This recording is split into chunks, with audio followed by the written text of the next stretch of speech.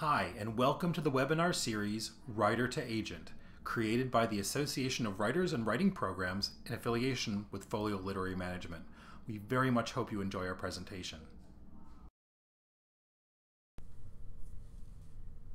So today we're going to be talking about the various paths to publishing. All manuscripts aren't created equal and either are publishers. So this is going to be a brief overview of what's involved in the various um, players. So first of all, I guess I should tell you a little more about me. I'm Jeff Kleinman and I'm a founding partner here at Folio and I'm here with Annie Hwang. I am a literary agent here at Folio and I'm also our digital rights director. Um, today, we're going to start off by talking a bit about traditional publishing. Um, and this is the established way that a publisher goes about acquiring books from writers just like you. Um, there are lots of different types of traditional publishers, and Jeff is going to tell us a bit about the different types and how to know what might be best for your project. So, there are a bunch of different categories, and um, these are sort of rough categories that I don't know how. Um, there's people that'll drop in between these things, so just but use this as sort of a rough guideline. Um, this the five publishers that we've narrowed that we've discussed here are the national trade publishers, regional publishers, smaller publishers, specialty publishers, and university publishers. So first of all, we have big national trade publishers. And what are these, Jeff? What are these, Jeff? Um, there's at this point there's five of them. Um, back a few years ago, there were probably 50. Uh, the joys of, of publishing it, it, just get more and more exciting, I guess. Um, at this point, we're down to Penguin Random House, which a couple years ago was a place called Penguin and another place called Random House, and now they're the biggest publisher. Then we have Simon and Schuster, Macmillan, Hachette, and HarperCollins. Um, the thing, the thing to keep in mind when you're thinking about big publishers is is your book something that would go to a national audience? Is it going to appeal to people in Florida and Alaska and any place in between? So um, that is really kind of the critical thing to keep in mind. The other critical th- thing to keep in mind is distribution.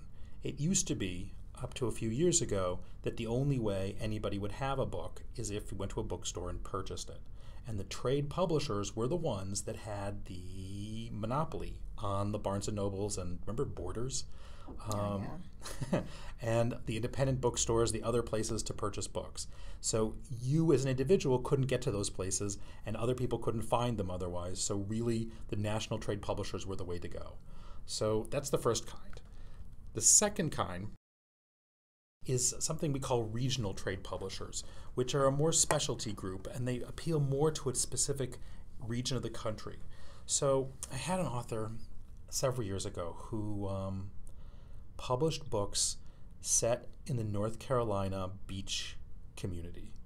And you could go to any local, not even bookstore, you go to any local beach place, and there is a copy of his book at the front of the counter. Mm-hmm. And every month he would, um, or every six months, he would get a nice royalty check for those books because the publisher knew how to get to those very specific mom and pop outlets sitting at the beach where the Simon and Schusters and Macmillans might not have that kind of area. And why is that?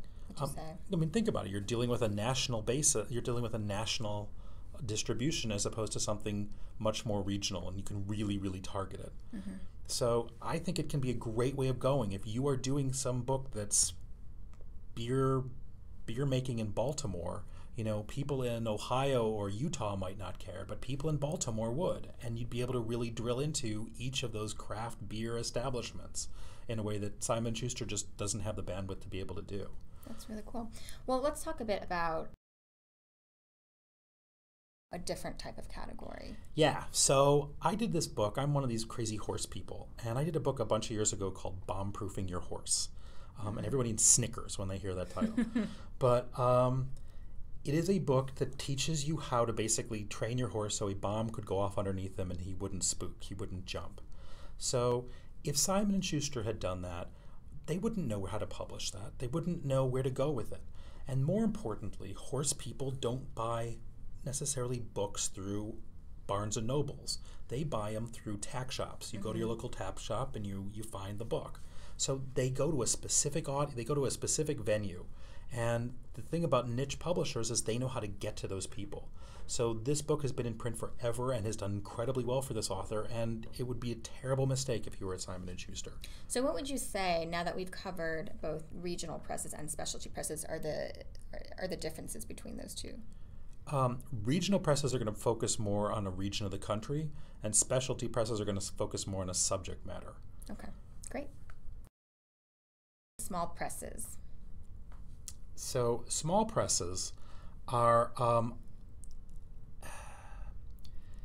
they're often run by just a handful of people.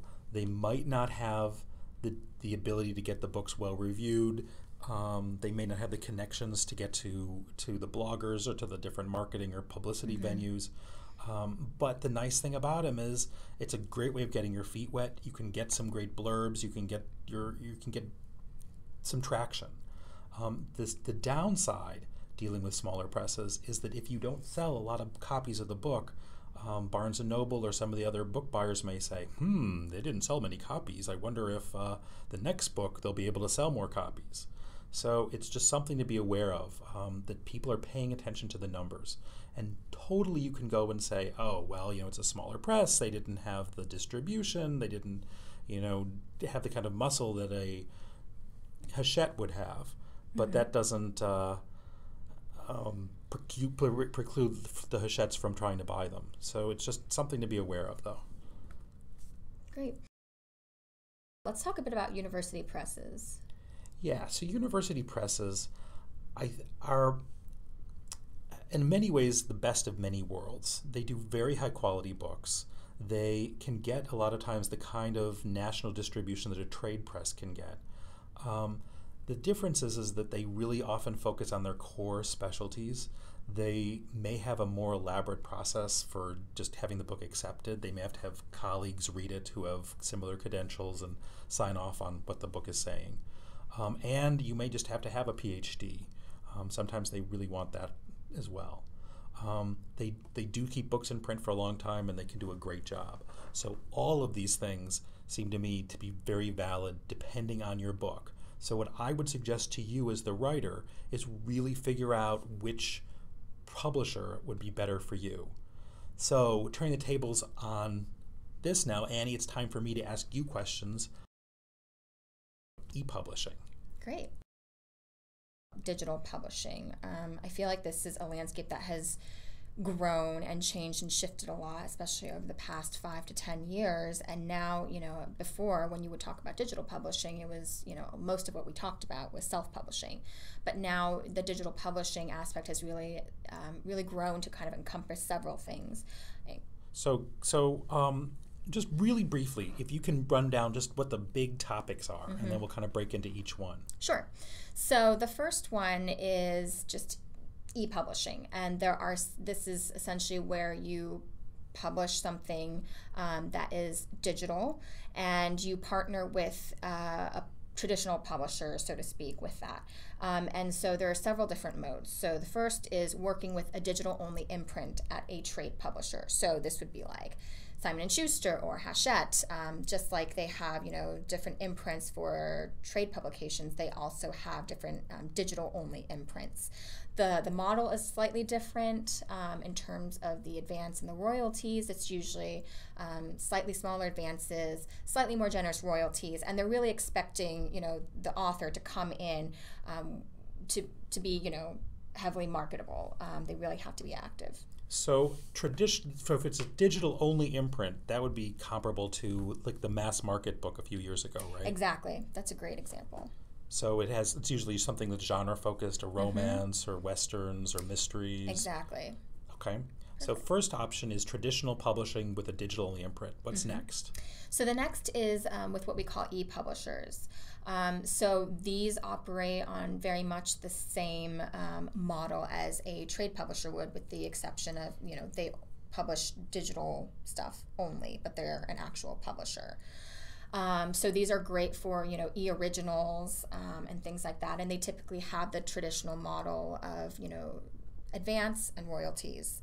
Um, but the nice thing about you know both of these things that we're talking about right now is you really have a team um, who's investing in you, um, who's partnering with you to put this book out in a really professional way. Okay, so just to make sure I'm clear, so option one is you get a regular traditional publisher and they do a digital imprint, or digital only imprint. Mm-hmm. Option two is you do a non-traditional publisher that does its own digital only imprint, basically. Mm-hmm. Exactly. Okay, and option three?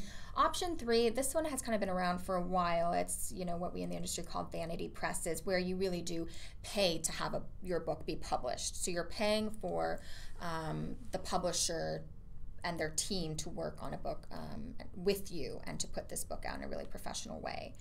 Um, and obviously, that's very different because the other two models that we just talked about, the traditional publishing with a digital only imprint or with an e publisher, both of those models, you aren't paying to have the book published. They're paying you to publish your book. So if somebody says to me, hey, Jeff, I want to publish your book, give me $20,000, that would be a vanity press. Exactly. Okay. So what's next on the list? So what's next is what we call true self-publishing or just self-publishing, um, and this is um, pu- publishing your own book through some sort of distribution platform. Nook Press or iBooks or KDP, which stands for Kindle Direct Publishing, which is the um, self publishing branch of Amazon. And essentially, when you think about you know how you're going to put the book out you really are building your own team here. You build it you have to be it and you usually have to pay for you know the cover getting things converted and things like that. So this is the complete opposite of what we were previously talking about um, where you have a team behind you. Here you're really creating your own team. You have to be your own marketing person you have to be your own cover designer um, you have to find a way to get the book converted and if you don't know how to do all those things you essentially pay for it um, so wait, so what's the difference? If I'm paying for this, is that the same as vanity publishing? No. So for a vanity publisher, they take care of all the, the logistics. So they basically charge you a lump sum and they handle everything. And the process is very much like you know it would be with a trade a tra- traditional publisher. Whereas this, you really have to be the one doing all the groundwork, finding what cover designer you want to use, figuring out what image you want to use, uh, if you don't know how to convert your files, finding a program or you know hiring someone to do it. Whereas a publisher, um, even if it's like a vanity press, they would basically be doing all those things for you, which would be included in that sum. So, are there certain types of authors you think are better for self publishing than traditional publishing? I do, and I think it's um, people who are a little bit more tech savvy, people who are much more um, well versed in how to market themselves um, people who have understood how to brand themselves and know where their audience is and how to reach them in a really, really highly targeted way. Hmm, okay. Before we move on to agent assisted self publishing, actually, I wanted to talk quickly about self publishing. You asked, you know, what model would be best. Um, or who would be best for self publishing. Um, the nice thing about this is you don't need an agent to do it. Got it. Okay. Um, and there's also um, you get higher royalties. So again, you know, when we go back to thinking about you know the traditional publishers, they're paying you advance, they're paying you royalties. They're really taking on the risk. Um, they're really hoping that you know by paying you this advance, the book will do well and they'll recoup the cost. Um, with self-publishing, um, you yourself are taking on the risk and the cost. Um, but the nice thing about that is you get a bigger piece of the pie. Got it. Okay. So the risk might be worth it. Yep. So finally, we're getting to agent assisted self publishing. So, this is um, a special branch of self publishing that is really only for authors who already have representation. Um, so, there are certain perks that come with this. Um, you get to be the publisher, you own the work.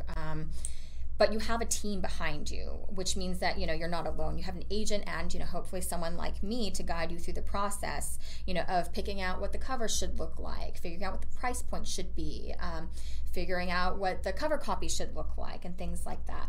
Um, there are also um, certain perks like amazon's white glove program which is just for um, authors who are already represented by agents. And they offer certain services for free, like cover design or file conversion and formatting. um, and sometimes even special marketing placement on their website. Um, and this is really under the assumption that there's a certain quality to the level of writing and that they may be able to build on an author's existing brand, hopefully. Okay. Um, and that kind of leads us to hybrid publishing. Um, So, so, Annie, what is hybrid publishing? hybrid publishing um, is a hybrid between self publishing and traditional publishing. Um, and so it's for authors whose books are traditionally published with a trade press, like the ones that you mentioned.